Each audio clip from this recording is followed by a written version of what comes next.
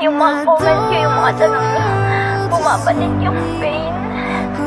Bumabalik yung sakit.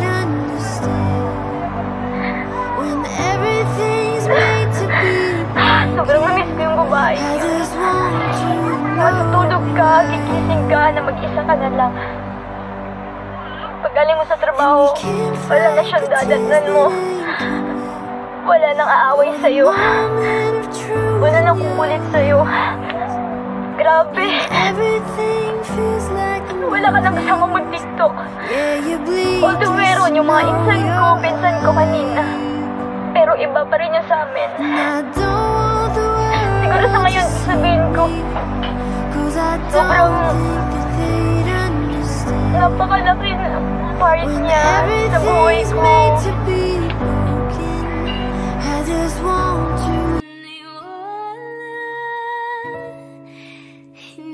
tayo pwede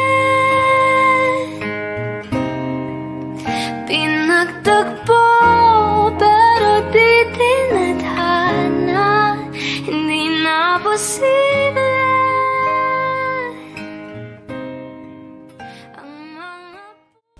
Mali ba ako kasi nakilala kita? Mali ba ako kasi binigay ko lahat sa'yo? Mali ba ako kasi sobrang minahal kita? O mas mali ka kasi pinabayaan mo akong mawala kahit alam mong mahal na mahal kita? Sa ngayon, sobrang sakit. Pero kailangan kong tanggapin na hindi talaga tayo para sa isa't isa.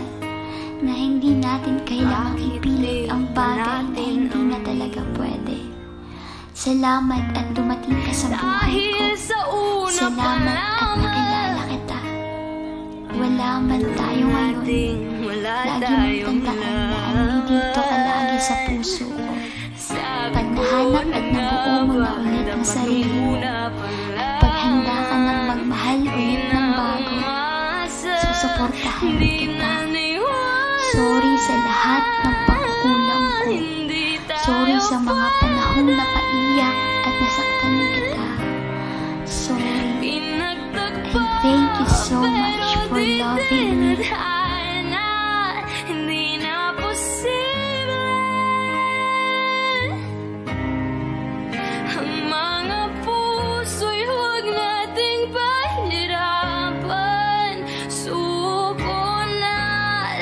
Yan, si Gustavo, alam ko naman na miss you yung freestyle battle. Siyempre, na-miss ko din yung dahil na-miss ko na yung boses bumalik na.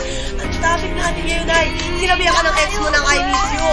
Ano sasabihin mo sa kanya? O ano, alam mo na Kung kailan ako nawala Doon mo lang siguro nakita ang aking halaga Hanggang ngayon ay meron pa Ang pait at ang sakit Pero wag mag-alala Sa'yo'y wala nang papalit Ay,